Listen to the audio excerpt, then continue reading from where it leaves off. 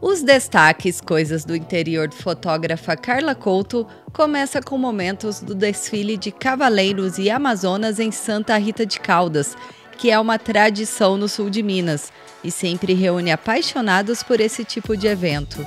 Além disso, mantém viva a essência da cultura sertaneja e tropeira.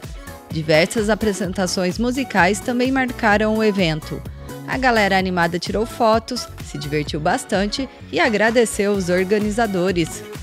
O presidente do treinamento Mastermind, Jamil Albuquerque, cumpriu uma agenda de compromissos em Andradas. Ministrou palestra na Casa Geraldo, com a presença de pessoas que já vivenciaram essa experiência. Autor de 11 livros, se dedicou ao momento de autógrafos. Os alunos do Colégio Junqueira visitaram a Flipossos, um dos maiores festivais literários, que acontece até o dia 7 de maio. É realizado no Espaço Cultural da URCA, democratizando ainda mais a participação da população local e turistas. O tema neste ano é Literatura e Fotografia as histórias que as imagens não contam. E hoje os destaques Coisas do Interior também abre espaço para o aniversário do Douglas, que comemorou mais um ano de vida ao lado de pessoas queridas.